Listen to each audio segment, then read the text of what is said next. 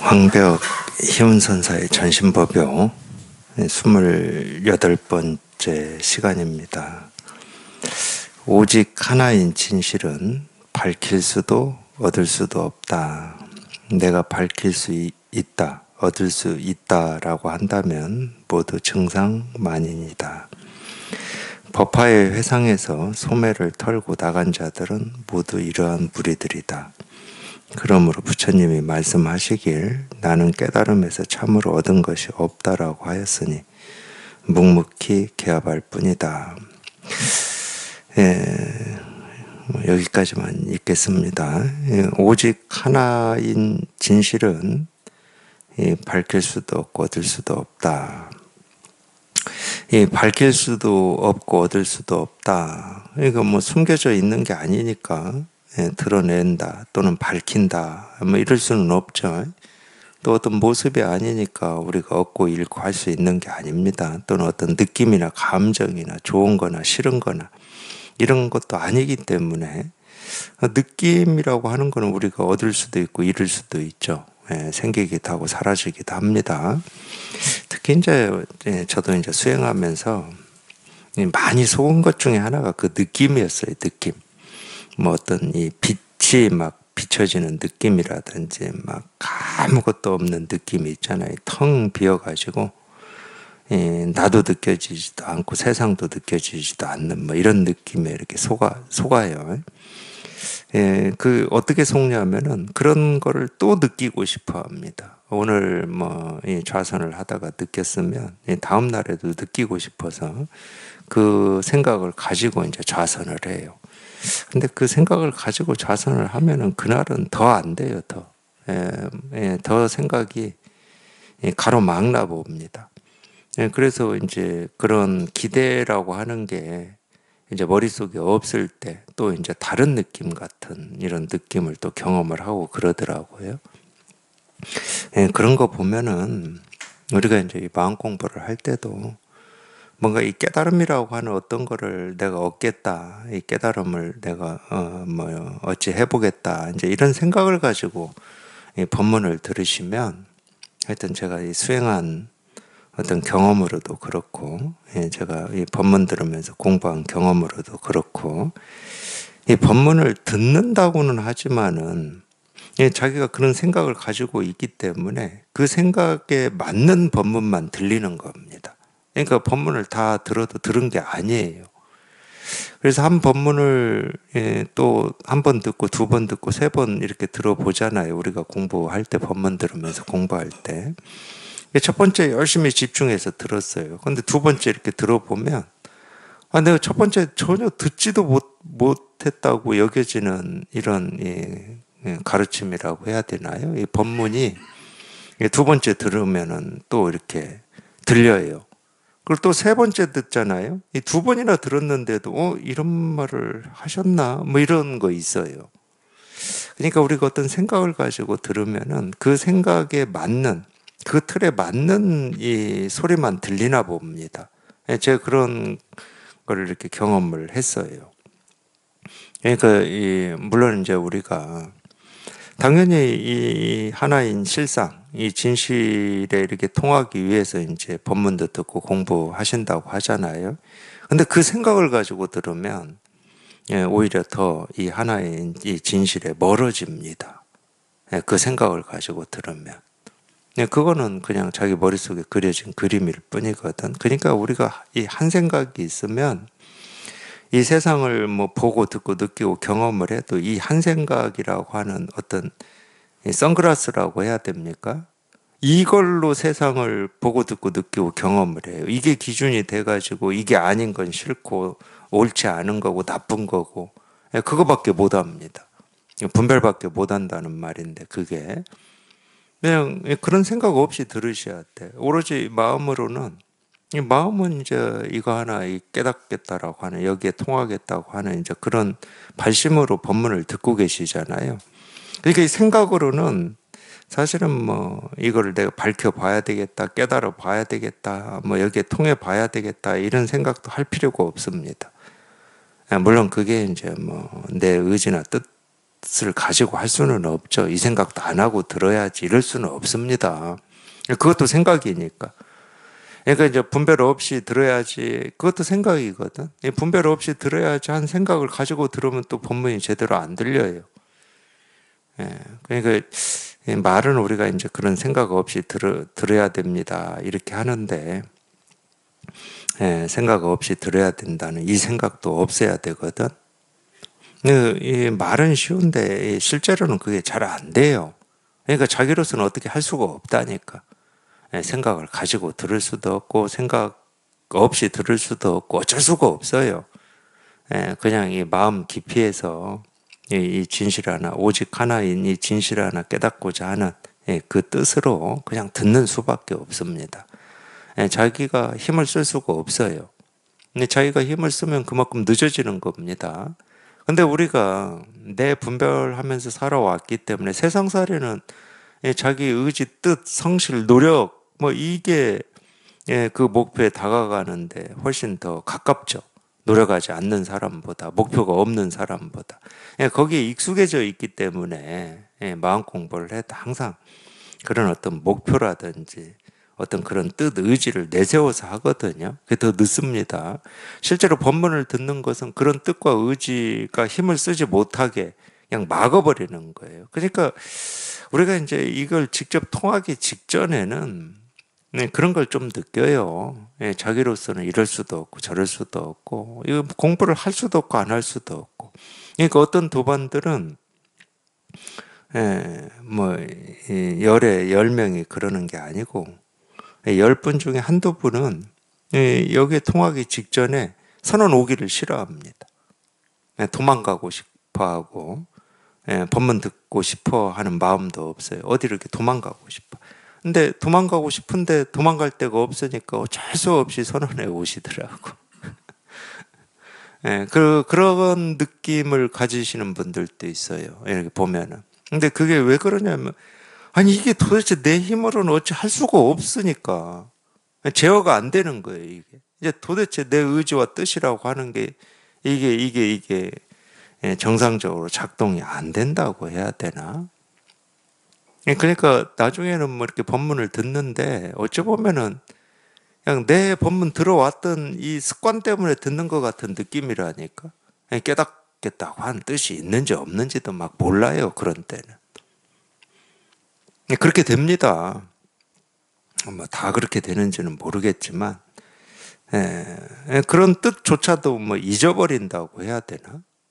예, 그런 것 같아요 물론 이제 그런 느낌이나 어떤 그런 모습은 예, 공부하는 도반들마다 조금씩은 다 다릅니다. 근데 조금씩은 다르지만 이 공통적인 건 그거예요. 내가 어찌 할 수가 없어. 내 힘으로는 이건 안 되는 거구나. 내 뜻과 내 의지로는 안 되는 거구나 하고 자기를 이렇게 포기하는 거는 공통됩니다. 그래서 내 힘으로 어찌 해보려고 하는 순간에는 아직은 여기, 여기까지 이렇게 다 예, 못 온 겁니다. 예, 그럴 때는 그냥 또 법문을 듣는 수밖에 없어요. 또 뭐 다른 방법이 없으니까 예, 다른 방법이 없습니다. 그 뜻을 마지막 남아 있는 뜻이나 의지를 내가 버린다고 버려지는 것도 아니고 잡는다고 잡아지는 것도 아니니까 그냥 이렇게 예, 법문을 듣는 수밖에 없어요. 근데 공통은 그거예요. 이건 내 힘으로 안 되는 거구나 이거예요. 그래서 뭐 그거를 뭐 더뭐 뭐 느낌이나 감정으로 구체적으로 네, 느껴서 표현하시는 분들도 있고 그냥 두리뭉실하게 예, 경험되시는 분들도 있고 그러는 것 같아요. 근데 이제 그것도 이제 또 마찬가지예요. 내 힘으로 되니 안 되니 이런 생각도 없을 겁니다. 예, 그냥, 그냥 여태까지 들어왔으니까 듣는 거라니까. 예, 그런 것 같아요.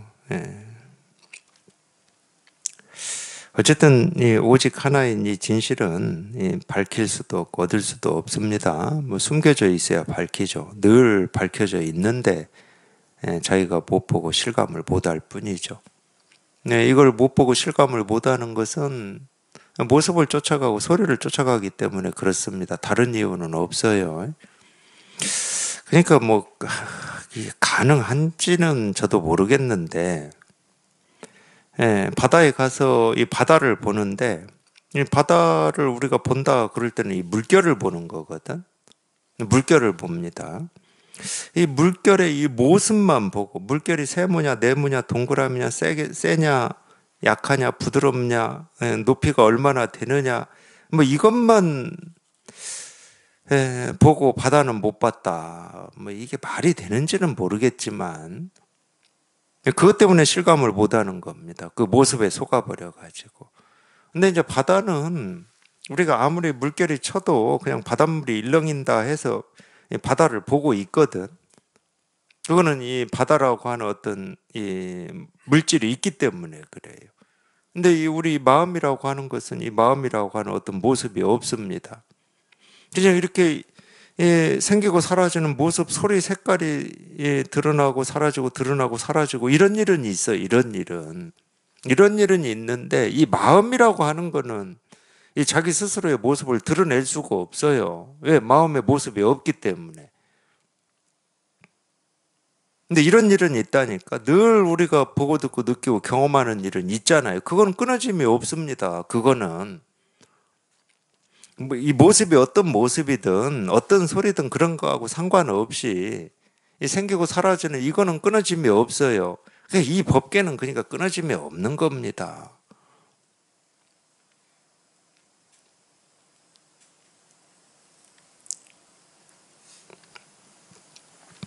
근데 이게 바다처럼 물이라고 하는 게 있어서 이 물이 움직이면은 이 물결이 막 일어나서 우리가 모습을 이렇게 이해하고 알듯이 그런 거다 그러면 쉬운데 우리 마음이라고 하는 것은 바다가 아니에요. 어떤 그런 물질도 아니고 느낌도 아니고 의식도 아니고 감정도 아니야. 뭐라고 할 게 아무것도 없어. 그냥 텅 비어 비어서 그냥 아무것도 없어. 아무것도 없는데 우리가 이 모습, 소리, 색깔이 이렇게 드러나서 우리가 이걸 경험을 하거든. 그러니까 조금 어려워요. 어렵다 그러면은 어려움이 있다 그러면 그 어려움이 있어. 아, 분별이 안 되는 이거를 자꾸 통하라고 하니까 어려운 거야. 분별되는 것에 한번 통해봐라. 그럼 우리는 너무 쉽다니까. 분별의 도사들이기 때문에 그건 너무 쉬워요. 예를 들면 이런 거지. 우리 활 쏠 때 관역이 있잖아요. 관, 관역을 앞에 두고 저 관역에 맞춰라. 그러면은 서툴러서 관역을 빗나가기도 하고 어쩌고 하지만은 우리가 관역에 맞추려고 시도도 하고 연습도 해서 맞출 수가 있잖아요. 근데 그냥 허공이야. 관역이 없어. 근데 관역에 맞추래. 마음 공부가 굳이 예를 들면 이런 거예요. 관역이 없는데 활을 쏘아서 관역에 적중을 시키라는 거야. 관역에만 익숙해진 사람은 어, 관역이 없는데 이거 어떻게 어디에다 쏘라는 거야. 뭐 이렇게 되는 거예요. 그러니까 자기 생각이 갈 데가 없는 거지. 뭐 동서남북 위아래를 다 봐도 관역이 없는데 예, 활시를 당기고 있다고 쳐. 어디를 향해서 쏠 겁니까? 자기 생각이 갈 곳이 없어요. 분별이 안 되기 때문에. 네, 그런 거하고 비슷한 겁니다. 그런 어려움이에요. 쉽게 얘기하면. 네, 분별에만 너무 익숙해져 있다는 것은 그 어려움이 있는 겁니다. 자꾸 이 모습 없는 마음이 어떤 건지를 알고자 해요. 관역이 어디에 있는지를 막 찾고자 해. 관역이 본래 없다니까?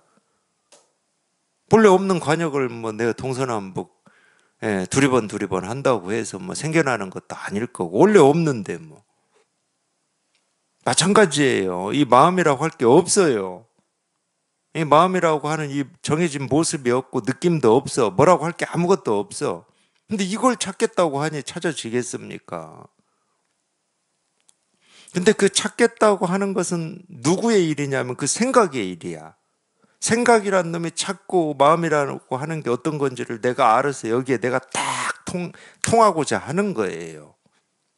그걸 깨달음이라고 착각하고 있는 거야. 그러니까 없는 마음을 찾고 있으니 평생을 해도 못 찾는 거지. 찾을 수가 없는 거지.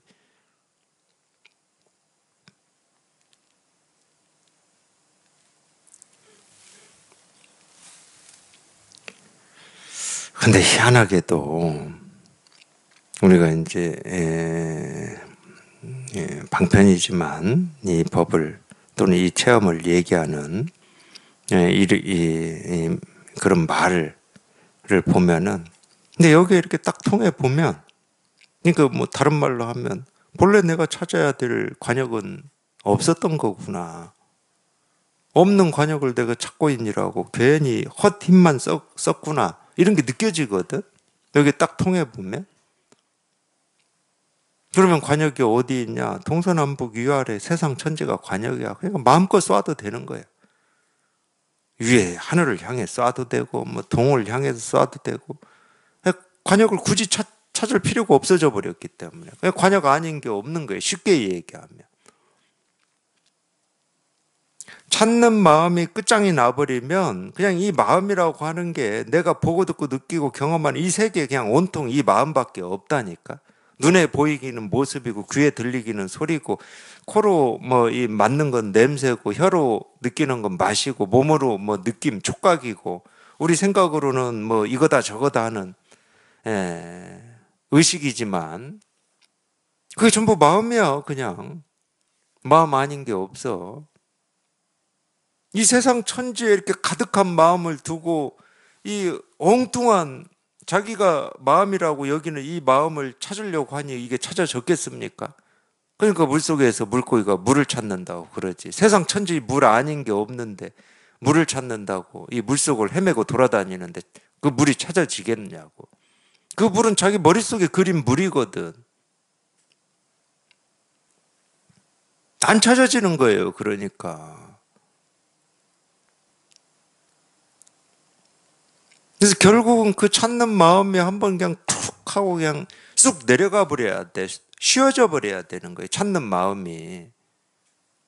그게 이제 우리가 분별이 한번 이렇게 부서진다. 생각이 뚝 끊어진다. 이렇게 표현하는 거거든. 그 찾는 마음이 사라져야지. 근데 그 찾는 마음은 어떻게 사라지냐? 그냥 자기도 모르게 여기에 통하면 같이 사라져. 여기에 통한다는 말이 그 찾는 마음이 사라졌다는 거거든. 그게 여기에 통한다는 말이에요. 통한다라고 하는 어떤 객관적인 사실이 있는 게 아니고 자기도 모르게 어떤 도를 찾고 법을 찾고 깨달음을 찾고 부처를 찾고 하던 그 마음이 사라지는 거. 그래서 정멸이라고 그러는 겁니다. 아, 사라져 버렸다는 거야, 그게. 근데 어떻게 사라졌는지는 모르지.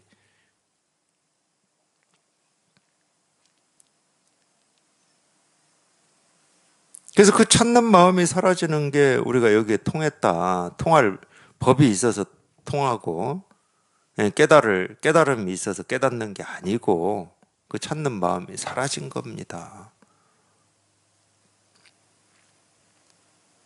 그래서 그 찾는 마음이 사라졌을 뿐이지 이 오직 하나인 이 진실을 어, 밝히거나 얻을 수 있는 거나 얻은 건 없습니다. 아무 얻은 게 없어. 아니 물을 찾고 있던 물고기가 예, 자기가 보고 듣고 느끼고 경험하는 이 하나하나가 물 아닌 게 없음을 우리가 깨달았다고 쳐. 아, 물을 얻었습니까? 예, 깨닫기 전에도 그 물 속에 그 물에서 보고 듣고 느끼고 경험하면서 살고 있었고, 아, 그게 물임을 확인했을 때도 그 물이에요. 다른 물 아니야. 같은 바다예요. 똑같은 바다야. 근데 물론 이제 그 바다가 바람이 불면 뭐 파도가 크게 칠 거고 바람이 잔잔하면은 뭐 예, 부드럽게 일렁일렁 할 거고. 근데 같은 바다, 바다라니까 모습이야. 이 바다의 모습은 이 모습 저 모습 뭐 햇볕이 쨍쨍하게 내리찔 때 모습, 비가 올 때 모습, 바람이 불 때 모습 날이면 날마다 다르죠. 그러니까 모습으로는 우리는 똑같은 걸 두 번 다시 못 봅니다. 똑같은 모습을 볼 수가 없어요. 모습으로는. 날마다 다른 모습이지만 그냥 이 하나인 바다일 뿐이듯이 그렇잖아요. 모습이 달라진다고 갑자기 뭐 바다가 호수가 되고 이럽니까? 모습은 그냥 인연 따라서 생기고 사라지죠. 해가 뜨면 밝게 보이고 해가 지면 어둡게 보이고 바람이 불면 크게 파도가 치고 바람이 멈추면 잔잔하게 일렁일 거고 모습은 천차만별해요. 날이면 날마다. 근데 어찌 보면 그 모습이 고정되어 있지 않고 항상 생기고 사라지고 천차만별하게 변한다는 게 뭐냐? 살아있다는 겁니다. 그게 살아있다는 거야. 우리도 마찬가지입니다.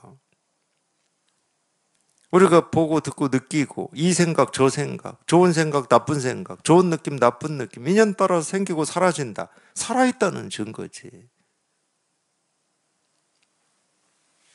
이 살아있으면 바뀌질 않아. 모습은 바뀌지. 숨을 들이쉬고 내쉬고. 모습은 바뀌어요. 근데 이 살아있으면 바뀌지 않잖아. 온갖 이 몸뚱아리 하나 가지고도 우리가 보고 듣고 느끼고 경험하는 게 천차만별한데 반응하는 것도 천차만별하잖아. 자기는 저런 상황은 옳다고도 생각하고 그르다고도 생각하고 천차만별합니다.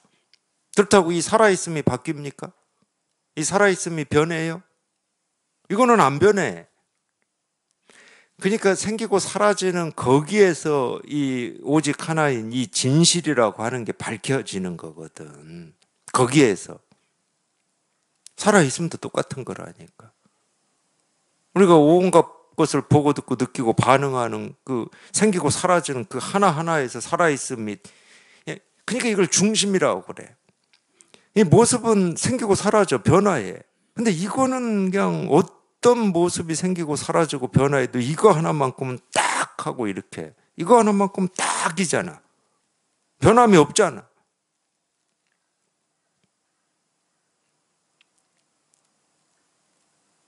그래서 이게 살아있다고 그러는 거예요. 그러기 때문에. 우리가 이거 하나 깨닫는 거라니까, 이거 하나. 그러니까 우리가 지금 당장 보고 듣고 느끼고 경험하는 하나하나에 이게 이렇게 다 드러나 있고, 이, 거기에서 이걸 확인하는 거지. 분별을 떠나서, 이 세계를 떠나서 따로 깨달음이 있고, 부처가 있고, 실상이 있는 게 절대 아니다. 도가 뭡니까? 이겁니다.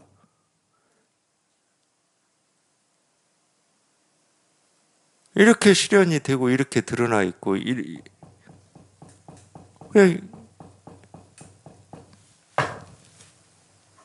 이럴 이럴 뿐이거든 실은. 그러니까 이것도 어쩔 수 없이 하는 거야 이것도. 이거 안 한다고 지금 제가 죽어 있습니까? 이거 안 한다고 눈 안 안 깜박이고 뭐 말 안 하고 밥 안 먹고 이래요. 근데 그런 이 모습 하나하나 생기고 사라지고 변화하는 모습 하나하나가 오히려 이거를 이렇게 증명하고 실현하고 있는 거라니까. 그러니까 우리 이 모습 없는 마음을 따로, 따로 찾으려고 하지 마시라고, 따로. 예, 따로 찾으면 그런 건 없, 없는 거니까. 그냥 이 하나의 모습에서 그냥 문득 이게 공감이 되고 실감이 되셔야 돼. 이겁니다. 그냥 이 하나의 모습에서, 그냥 이 하나의 소리에서 문득 공감이 돼야 돼. 아, 물한 방울 맛 보면은 물이 어떤 건지가 그냥 다 공감이 되고 통해버리잖아.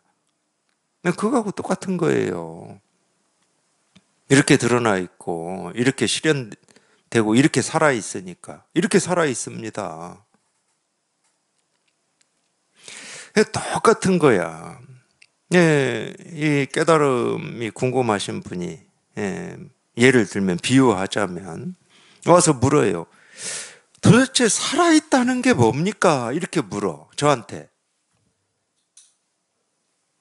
아, 그러면 자기가 지금 살아있다는 게 뭡니까? 하고 지금 말을 하고 그 말을 하면서 숨을 들이쉬고 내쉬고 그런 표정을 짓고 손짓 발짓을 하고 아, 그게 살아있음이잖아. 언제 죽은 적이 있나? 자기가? 살아 있으니까 그런 고민도 하고 그런 생각도 하고 쫓아와서 묻기도 하고 그러는 거지. 그러니까 자기 스스로가 살아있음을 다 보여주고 실현하고 있으면서 살아있음이라고 하는 어떤 이 고정된 살아있음이 있을 거라고 착각을 하고 있는 거예요.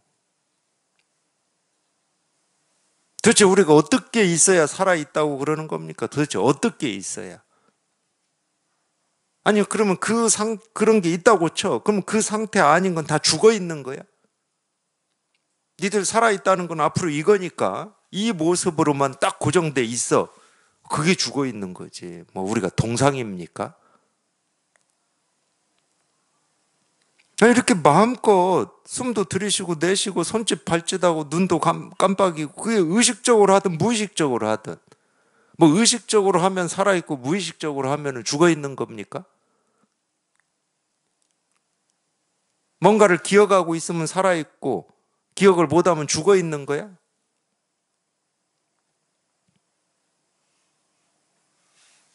우리 마음이라고 하는 것은 진짜 이 살아있음하고 똑같아요. 제가 볼 때는.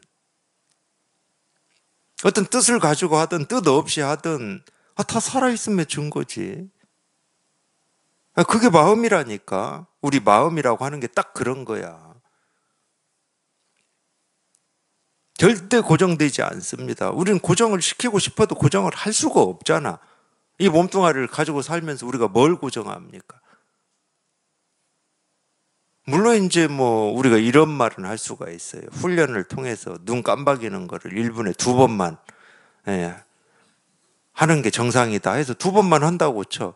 아, 두 번만 한다고 그게 훈련을 통해서 아무리 익숙하게 해서 단련을 해가지고 두 번만 한, 한다고 해서 그게 죽어 있는 겁니까? 그것도 살아 있는 거예요. 살아 있으니까 그걸 할 수 있다니까 훈련도.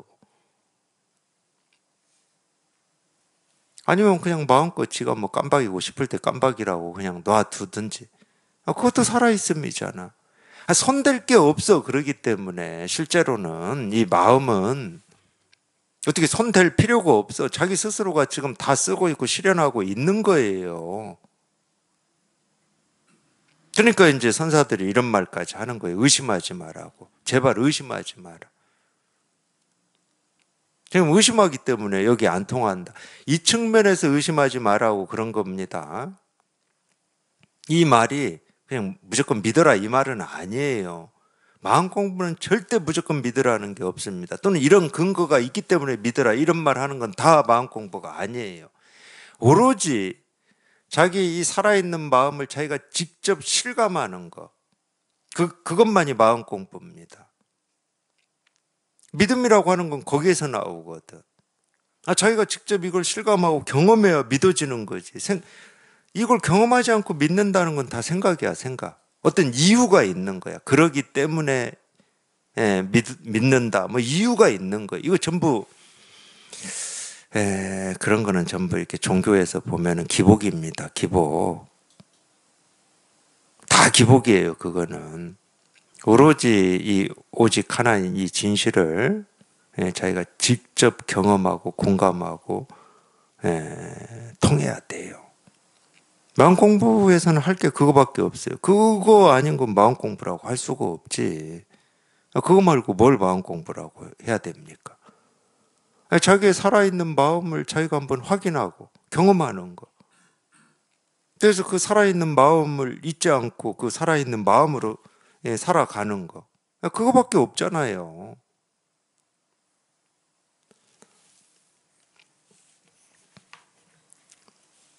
근데 이미 다 그러고 있다고. 그러니까 모든 사람이 다 깨달은 부처다 그러는 거지. 모든 중생이 다 깨달은 부처다. 깨달은 부처지 당연히. 아, 부처 아닌 사람이 어디 있어? 못 깨달은 사람이 어디 있냐고. 다 깨달아 있고 깨달은 부처인데 자기 스스로만 허망한 생각을 집착해 가지고 중생 노릇하는 거예요. 자기 스스로만 허망한 생각을 집착해 가지고 중생 노릇하는 거야. 근데 알고 보면 중생 노릇도 깨달은 부처가 하는 겁니다. 그냥 깨달은 입장에서 보면 중생 노릇하는 중생도 깨달은 부처예요. 아, 지가 부처니까 중생 노릇 하는 거지. 부처가 아니면 그냥 중생이지. 노릇이 아니고.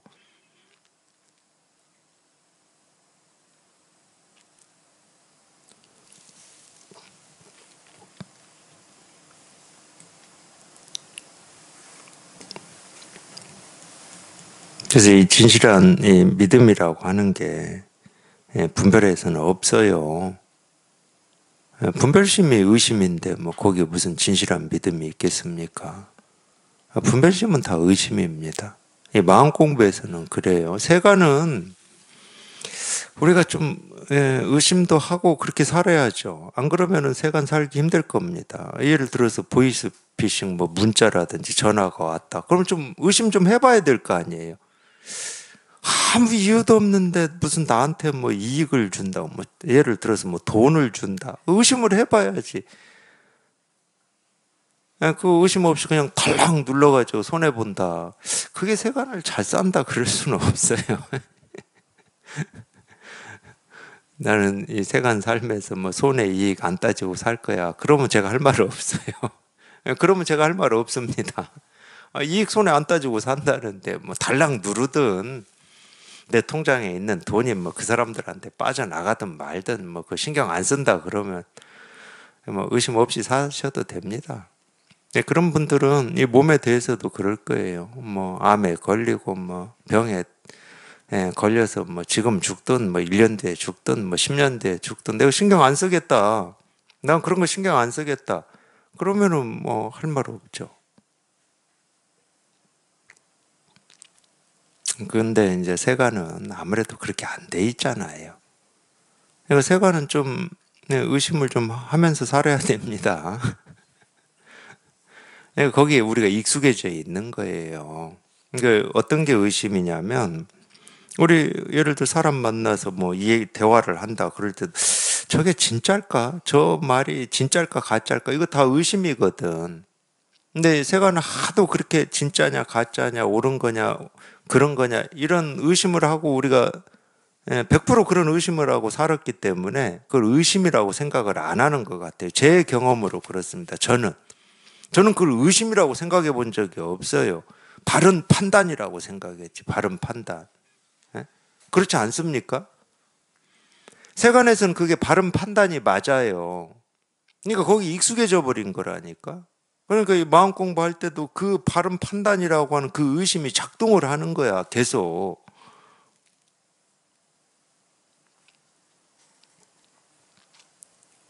그거는 예, 여기 통해야 예, 쉬워집니다. 그런 의심은 억지로 쉴 수가 없어요. 그냥 내가 무조건 믿어야지. 그건 저는 예, 정상적으로 사는 사람이라고 하기는 어려워요.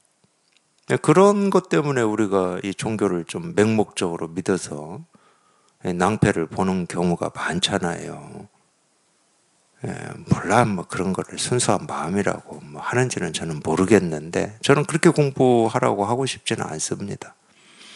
오로지 예, 자기가 예, 태어날 때부터 본래 갖추고 있고 지금까지 쓰고 있다고 하는 이 오직 이 하나의 진실을 예, 자기 스스로 직접 체험하고 실감하고 공감하는 것.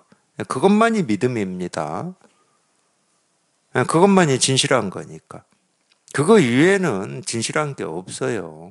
진실한 게 없기 때문에 거기도 의심할 게 없어, 실은. 저게 진실한 건가, 진실하지 않은 건가, 뭐, 그래야 우리가 의심을 하는데, 예, 그것도 뭐 의심할 게 없어. 이것만이 진실한 거고 나머지는 진실한 게 없는데 뭐 또 엉뚱한 걸 끌어와 가지고 이건 진실한 거야. 진실하지 않은 거야. 이 몸뚱아리는 진실한 거야. 허망한 거야. 이게 다 쓸데없는 생각이에요. 그냥 오로지 그냥 이, 이, 이 하나만이 이렇게 진실한 겁니다. 간단해졌잖아요. 그러니까. 간단해졌다는 말은 이제 의심할 일이 없다는 거야. 의심할 일이 없다는 말은 이 쓸데없는 생각을 안 하고도 잘 살 수 있다는 겁니다.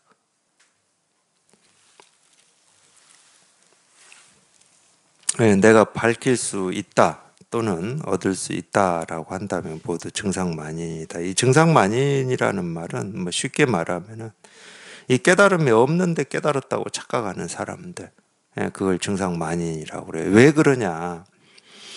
이 깨달음이 없는데 깨달았다고 이 착각하는 사람들은 구제가 안 되기 때문에 오히려 자기가 못 깨달았다, 뭔가 부족하다, 어떤 고통이 있다, 번뇌가 있다 이런 사람들은 구제할 가능성이 있습니다. 예, 이 얘기는 다른 얘기하면 배울 가능성이 있는 거예요. 근데 나는 이미 깨달은 사람이야. 배울 가능성이 없잖아. 그래서 이런 사람들은 구제가 안 돼요. 그 믿음이 없다고 그래요. 그런 사람들은. 아, 지가 깨달았는데 무슨 믿음이 있겠습니까? 그러니까 배우려고를 하질 않아. 예, 부처님이 다시 살아온다 하더라도 배우려고를 하질 않아요. 증상만이라고 하는 뜻이 그 뜻입니다. 예, 이 믿음이 없는 사람들. 뭐 믿음이 없는 사람들 중에서는 자기가 깨달았다고 착각하는 사람만 그런 건 아니죠. 예를 들어서 내 눈으로 직접 본 것만이 진실한 것이다. 이런 믿음을 가지고 있는 사람은 또못 깨닫죠. 아, 자기 눈으로 보이는 것만 진실하다는데 아, 이건 눈으로 보이는 게 아닌데 이거 뭐 어떻게 합니까? 못 깨달아요 그런 분들은 이런 분들은 이제 우리가 이 세속에 너무 이렇게 예, 길들여져 있는 분들 그러니까 이 돈이 삶의 전부다라든지 뭐, 뭐 그런, 거, 기에 이렇게 집착이 있는 분들이 있잖아요. 그런 분들은 못 깨닫죠. 공부하고자 하는 뜻이 없는데 어떻게 깨닫습니까? 그래서 이제 이런 공부하고자 하는 뜻과 원, 이 발심이 없는, 네, 이걸 이제 정상만이라고 그래요. 그러니까 예나 지금이나 뭐, 우리 사는 건 똑같으니까. 네, 모습은 달라졌습니다. 네, 우리가 흔히 얘기하는 뭐 경제라든지 과학이라든지 기술이라든지 이런 거를 우리가 발전했다고 그러죠. 예, 발전 그러니까 모습은 천지 차이 나요. 천지 차이 나. 아무리 천지 차이 나도 예, 사는 건 똑같습니다. 제가 볼 때. 그래서 이제 뭐 어떤 분들은 예, 저보고 이 발전이라는 말 제가 인정하지 않고 수긍하지 않는다고 그러는데 예 맞습니다. 발전이라는 말을 인정하지 않습니다. 발전한 건 없어요. 모습이 바뀐 거지. 물론 이제 모습이 바뀐 걸 발전이다 뭐 그런 뜻으로 쓰자 그러면은 그 말에는 제가 동의할 수 있어요. 근데 발전은요, 모습이 바뀐 거, 이 뜻으로만 절대 쓰지 않습니다. 세간에서. 발전을 얘기하시는 분들은. 우리 삶이 질적으로 나아졌다고 하는 거지. 우리 삶이 질적으로 진짜 나아졌습니까? 저는 그 부분에 동의를 않는 거예요. 물론 뭐 제가 동의를 않는다고 뭐가. 뭐 아무 상관도 없는데 뭐 저 하나 동의 안 된다고 뭐 이 세상이 뭐 갑자기 뭐 이렇게 자전하던 지구가 멈춥니까? 아니면 거꾸로 돌겠습니까? 아무 상관도 없어요. 상관도 없는데 이제 제가 이런 얘기를 하는 이유는 예, 너무 쉽게 이 모습의 변화를 우리는 발전이다, 성장이다 이런 그러니까 어떤 이, 이 분별심이죠. 전부 이 분별을 가지고 얘기를 하는 건데 저희가 직접 이 실상이라고 하는 게 통, 여기에 통해 보세요. 발전, 뭐 성장 이런 게 있는지 없습니다. 세간의 삶은 똑같아요. 뭐가 이렇게 모습이 바뀌고 뭐 옛날에는 뭐 손으로 한겨울에도 이 강가나 우물가에 가서 빨래하는 어려움이 있었는데 지금 세탁기에 넣으면 그냥 지가 알아서 싹 해주고 바닥 청소도 뭐 로봇 청소기 있잖아요. 그 지가 뭐 물걸레질도 하고 뭐 걸레도 딱 빨아서 건조도 시킨다는데 좀 보지는 못했어요. 제가 듣기만 했어요. 아 그거 하고 내가 이 빨 이 걸레 빨아가지고 이 바닥을 그냥 막 닦고 다닐 때 하고 그 수고로움이 다르죠. 엄청 편해졌죠. 청소, 빨래 뭐 이런 거 엄청 편해졌죠. 아, 그런 게 편해졌다고 우리 삶의 질이 높아졌습니까?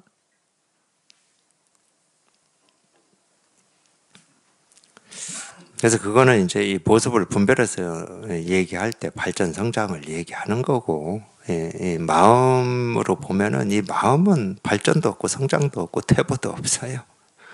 여기는 뭐라고 할 게 아무것도 없어.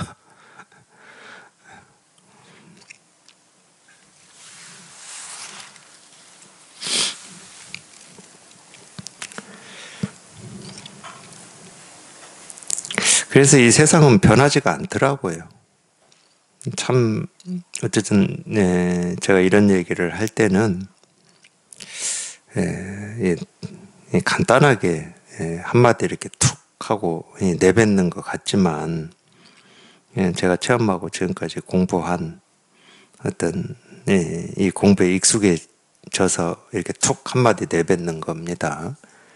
예, 솔직히 말씀드리면 저는 예, 불교 경전이나 이 선에서 얘기하는 이 무생법인이라는 말이 예, 제가 체험을 하고 공부를 하고는 있지만은 100%안 다가왔습니다.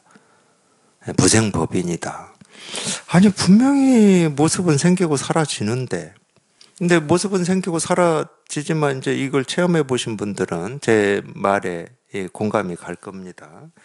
생기고 사라지지 않는 이, 이, 이 진실한 이 하나의 일이 이렇게 또 공감이 돼요. 예, 그러면서도 여전히 이 모습은 생기고 사라져. 이 몸뚱아리도 이 나이 들고 뭐 변하잖아요. 생기고 사라져. 근데 경전에서는 분명히 무생법인이라고 그랬어요. 생겨남이 없는. 이거는 이 내가 공감된다고 하는 이 불생불멸이라고 하는 이 법이라고 하는 여기에만 얘기하는 게 아닙니다. 여기에만 얘기하면 법이라는 게 있게 되잖아. 불생불멸인 법이 있게 돼요. 그러면 우리 이 법계라고 하는 건 어떻게 됩니까? 얘는 생기고 사라지고 얘는 생기고 사라짐이 없고 그럼 벌써 둘이잖아. 제 의문은 거기에 있었어요. 제가 무생법인이라는 말을 경전에서 듣고 그럴 때. 그러면 아니, 공부하는 입장에서 한번 이걸 체험한 입장이다. 또는 체험이 없더라도 생각을 해보시라고. 불생불멸인 법이 있고 생기고 사라지는 이 법계가 있다. 아, 보면 두세 개잖아요. 그래서 처음에는 무생법인이 어떻게 다가왔냐면은 제가 이 경험했다고 하는 이, 예, 이 법으로 다가왔어요. 이 법으로. 그러니까 처음에는 문제의식을 못 느꼈죠. 불생불멸이라는 말도 처음에는 문제의식을 못 느꼈습니다. 정말 이거는 불생불멸이야. 뭐라고 할 게 없어. 그럼 우리가 이 법계라고 하는 게 불생불멸이고 몸뚱아리가 불생불멸이다. 이게 안 다가왔어요. 그래서 무생법인이라는 말이 100%안 다가왔습니다.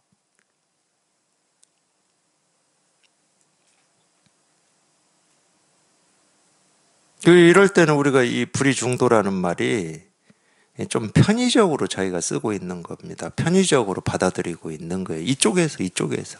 그럼 이쪽이 있고 저쪽이 있는데 이미 자기 스스로 예, 분별을 하고 있는 거잖아요. 체험하고 공부하실 때 이 부분을 좀 조심해야 돼요. 제가, 제가 직접 경험을 했으니까 저는 그런 세월을. 그래서 무생법인이라는 말이 늘, 에, 조금 뭐라고 하죠. 에, 에, 그런 게 좀 있었죠. 체험하고 제가 이렇게 공부하면서. 근데 이, 이 경전의 말, 이 가르침, 선사 조사들의 가르침은 어느 한쪽에는 들어맞고 어느 한쪽에는 안 들, 이런 거 얘기하는 게 아니잖아요. 적어도 마음 공부를 하신다, 그러면은. 우리가 뭐 세상 이치 도리를 얘기한다. 예, 그래도 이 세상의 모든 일이 이 이치 도리에 딱딱 들어맞는다, 이럴진데, 이 마음 공부를 하시는 분들이, 예, 뭐 불생 불멸이라든지, 뭐 무생 법인이라든지 이런 말은 뭐 이, 이쪽 일이고 이 어떤 이 법계에서는 이 생기고 사라지는 게 이런 게 아닙니다. 그래서 더 공부를 이렇게 해보면 사실은 이 법계, 법계는 사라질 수 없잖아요. 법계가 사라지겠습니까? 예, 모습, 소리, 색깔로 생기고 사라지고 변화하는 이 법계가 사라지겠냐고. 사라지는 것은 저희가 법이라고 여기는 그게 사라지는 겁니다. 깨달음이라고 여기는 그게 사라져요. 사실은 그럴 때 이 두 세계가 이 체험하, 체험하고 공부하시는 분들 딱 그럴 때 이 두 세계가 딱 하나로 이렇게 맞아져요. 그럴 때 딱 맞아집니다. 그럴 때 딱 맞아져서 보면은 무슨 법이냐? 아무것도 생기고 사라지는 게 없어요. 아무것도. 아무것도 생기고 사라지는 게 없습니다. 그러니까 우리가 방편으로는 어쩔 수 없이 모습은 생기고 사라지잖아요. 이러잖아. 근데 또 생기고 사라지는 그 모습의 불생불멸인 이 하나가 진실하잖아요. 이렇게 말하잖아요. 방편으로는. 말로 하려니까 어쩔 수 없이 이렇게 얘기를 하는 겁니다. 근데 아무것도 생기고 사라지는 게 없다니까.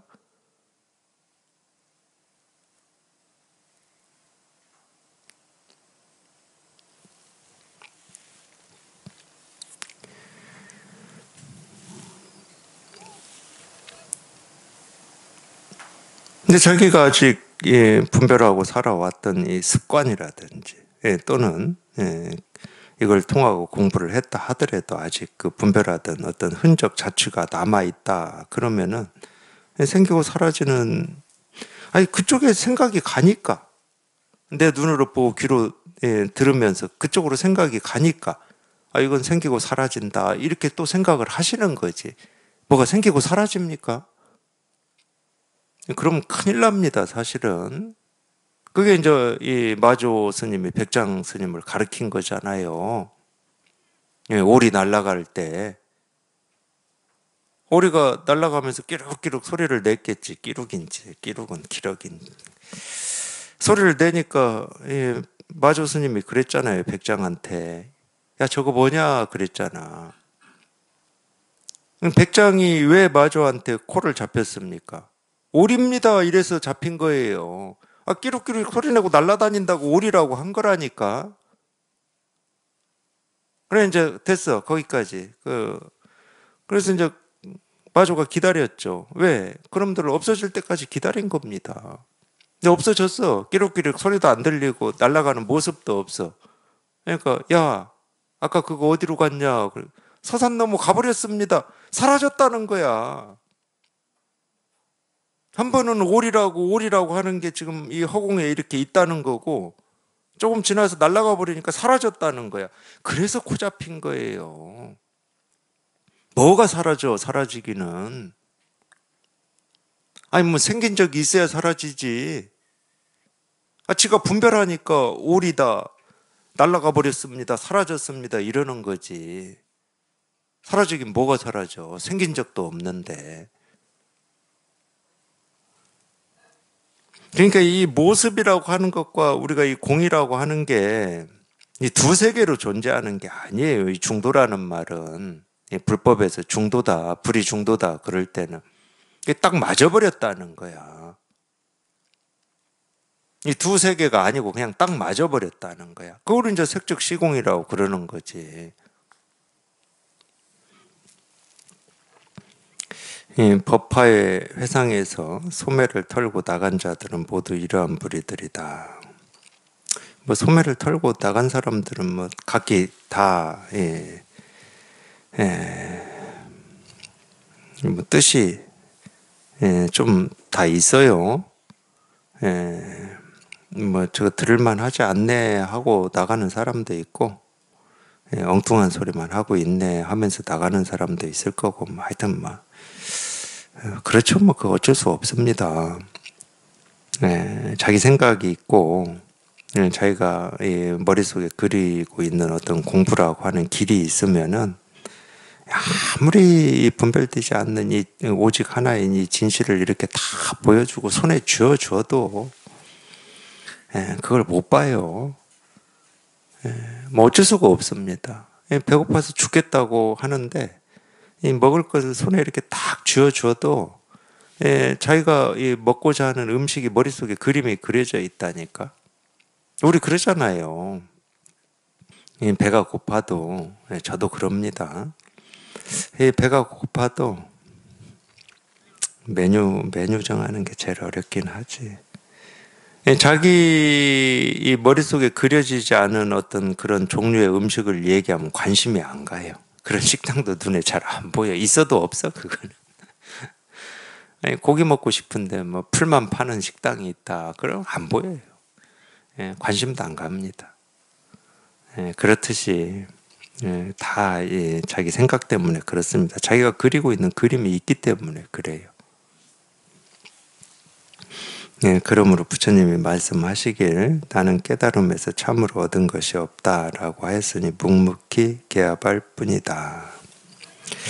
범부들은 죽음이 다가왔을 때 다만 오온이 모두 공이고 사대에는 자기 자신이라고 할 것이 없음을 관찰할 뿐이다. 이게 이제 이제 이 정도만 돼도 이제 이 세간의 입장에서는 참 예, 대단하게 수행을 했고 공부를 했다 아마 이럴 겁니다. 예, 이제 이 몸뚱아리가 죽을 때 됐을 때, 이 몸뚱아리는 4대 육신으로 이루어져 있고 4대 육신은 인연 따라서 흩어졌다 모였다 해가지고 이 몸이 이루어지고 흩어지는 건데, 그러면 이제 그게 실체가 없다는 말이고, 이 공이다는 말이거든. 그러니까, 예, 그럴 뿐이고 4대는 나라고 할 게 없어. 이제 이 입장, 만 가져도 세간의 입장에서는 참 수행력이 뛰어나다고 할 거 아닙니까? 근데 이게 다 생각이거든. 이게 전부 생각이에요. 네, 그 뒤에 내용이 뭔지는 모르는데, 네, 이거 생각입니다. 진짜 깨달아서 이 하나가, 이 하나가 이렇게 분명한 사람은 이런 얘기 봤을 때, 이거 전부 생각일 뿐이야, 이게. 뭐를 공이다 그러고 뭐 사대는 자기 자신이라고 할 게 있다 없다 뭐 무하다고 그러고 허망하다고 그러고 진실하다고 그 전부 생각이야. 뭐 재행 무상이라고 그러고 일체 개고라고 그러고 만법 무하라고 하고 그거 다 생각이거든. 그러니까 예, 어떤 이 죽음에 대한 두려움이나 불안을 예, 어떤 이 무아라고 하고 모든 것은 그냥 예, 인연 따라서 흩어지고 생기는 이 4대 육신이다 이런 쪽으로 피하는 것 같아. 예, 제 느낌으로는. 그렇게 해야 어떤 죽음에 대한 두려움이 조금이라도 달래지고 뭐 이러, 이러기 때문에 그러는 것 같아요. 근데 본래 죽음에 대한 두려움이 없으면 이런 생각을 할 필요가 없는 거지. 본래 죽음에 대한 두려움이 없다는 말은 무슨 얘기예요? 아, 생기고 사라지는 게 아예 없어. 뭐가 없는데 무슨 뭐. 이렇게 이, 이 몸뚱아리가 이 사라지는 것은 이 4대 육신, 인연 따라서 화합으로 이루어진 4대 육신이 이제 인연이 다해서 허공에 흩어지는 거다. 그리고 이 몸뚱아리는 본래 나라고 할 게 없다. 이런 생각을 왜 합니까?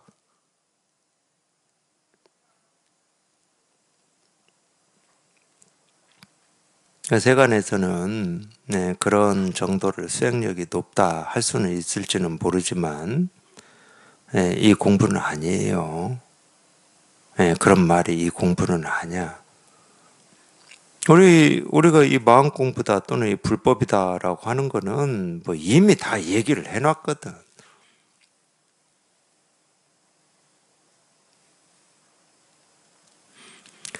그런 이제 정해진 모습이 없이 온갖 인연 따라 이 모습 저 모습으로 생기고 사라진다. 이걸 우리가 이제 법계라고 그러지. 예, 법계라고 그러긴 하는데 아무것도 생기고 사라지는 게 없다니까. 아, 모습을 따라서 우리 생각을 쫓아가면 그냥 인연 따라서 온갖 것이 생기고 사라진다. 그러니까 인연이라는 말도 깨달은 사람이 쓸 때하고 못 깨달은 사람이 쓸 때하고 달라요. 예, 못 깨달은 사람이 있을 때는 자꾸 인연 따라 뭐가 생기고 사라진다고 그러거든. 딱 그렇게 써, 못 깨달은 사람은. 근데 깨달은 사람은 인연이라는 말을 쓰는데 인연이 없어요. 인연이라는 말을 쓰는데 인연이 없, 무슨 인연이 있습니까, 우리, 우리가?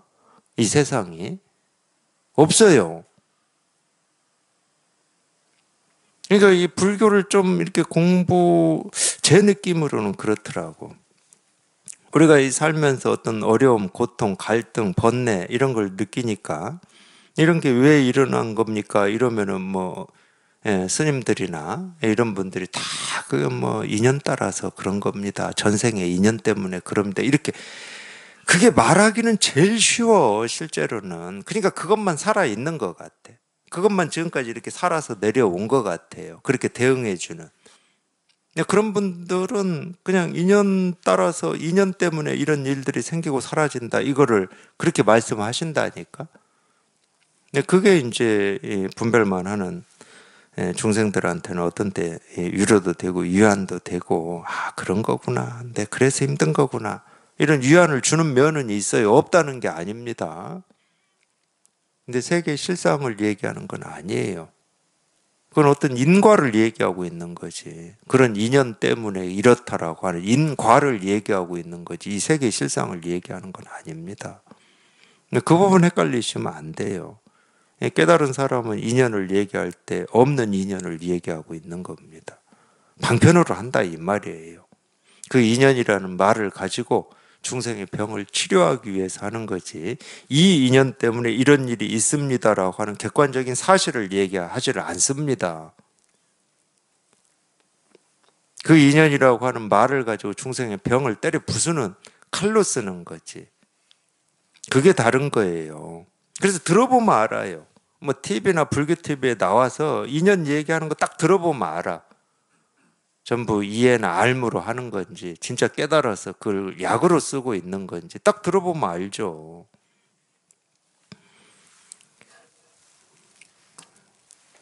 그런 거를 생활 법문이다 뭐 이렇게 얘기들 하시더라고 도반들께서 예, 생활 법문 하신다 그러는데 예, 생활 법문이라고 하는 것은 예, 법문이 아니죠. 세속의 삶을 얘기하는 거니까 그건 법문이라고 할 수가 없어요. 법문은 분별되지 않는 이쪽으로 이끄는 걸 법문이라고 그러는 거죠. 예, 육조 해능 스님 육조 단경에서 얘기하시는 이 자성 자성 법문. 법문은 당연히 분별되지 않는 이, 이쪽으로 이끄는 걸 법문이라고 그러는 겁니다. 생활 법문이라는 말은 뭐 어쩔 수 없이 막 그렇게 쓰고는 있으신데 예, 이 입장에서 보면은 생활 법문이라고 하는 건 없죠. 그냥 세간의 어떤 삶의 지혜라든지 뭐 이런 걸 어, 얘기한다 뭐 이런 뜻인 것 같은데 예, 참 마음은 모습이 없으며 가지도 않고 오지도 않는다. 그러니까 이런 거 읽을 때 조심하시라고. 예, 제가 이제 체험하고 이런 거 읽을 때 예, 저도 모르게 그렇게 읽고 이해하고 넘어가 버렸으니까 이 참 마음은 모습이 없으며 가지도 않고 오지도 않는다. 이럴 때 이 참 마음이라고 하는 걸 절대 만들지 마세요. 참 마음이라고 하는 이걸 절대 만들지 마세요. 참 마음이 있다 그러면 지금 당장 우리가 보고 듣고 느끼고 생기고 사라지고 변하는 모습, 소리, 색깔에 다 드러나 있는 거지. 그, 그게 참 마음이지. 참 마음이라고 하는 건 절대 따로 있지 않습니다.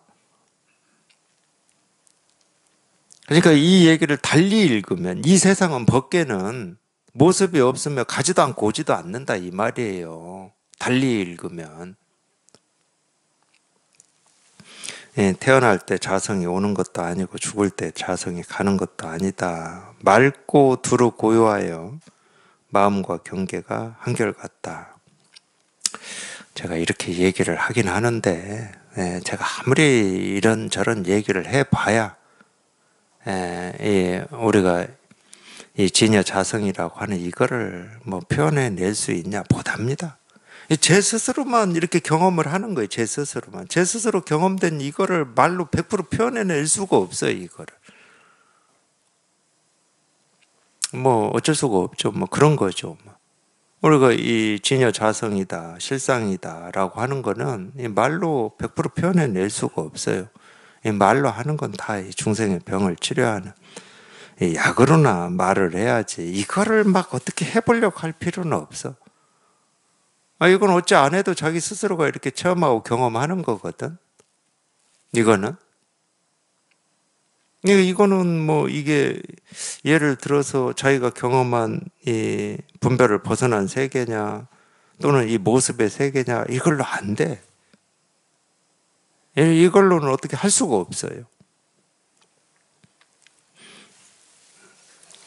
자기 스스로 여기 이렇게 딱 통해서 그냥 이렇게 스스로 이렇게 예, 경험하고 스스로 이게 이렇게 분명할 뿐입니다. 뭐 다른 다른 건 없어.